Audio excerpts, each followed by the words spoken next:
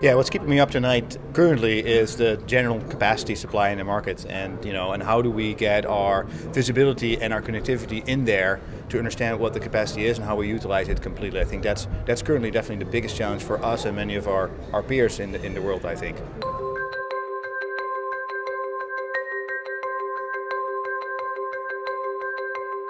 Oh, absolutely. Digitalization is totally playing a role in that process uh, because it, it's enabling everyone to get much more information at much faster rates, which allows everyone, and including ourselves, to optimize the capacity that's available. And that's very critical when the capacity market is so tight as it is today.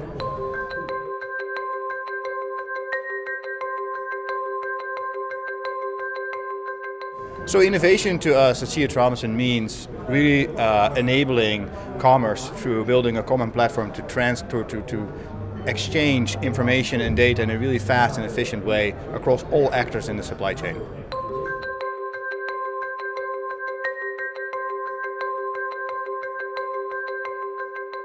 The biggest opportunity we currently see is connecting uh, all the various stakeholders and actors and enabling them to get access to all the information uh, regarding orders, demand, capacity in a very, very efficient way with a, a lot of visibility so that decisions can be made very quickly and very accurately.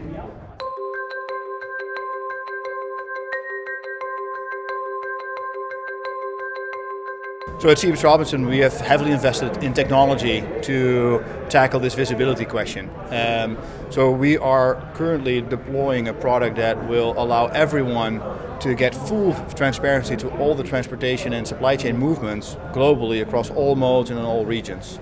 So Navisphere Vision is actually the product of our internally in-house developed technology that we've been using for decades. Uh, but we've heavily partnered with one of our customers, Microsoft, to develop this global uh, visibility platform. And that's really the core, this partnership is the core of, of Navisphere Vision as it, as it is today.